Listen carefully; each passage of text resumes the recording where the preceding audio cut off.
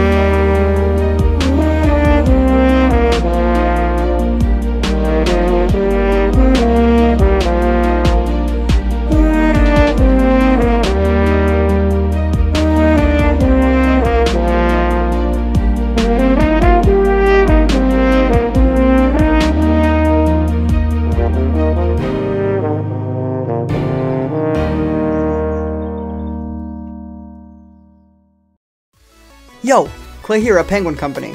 Hope you enjoyed this cover of the Meadowlark.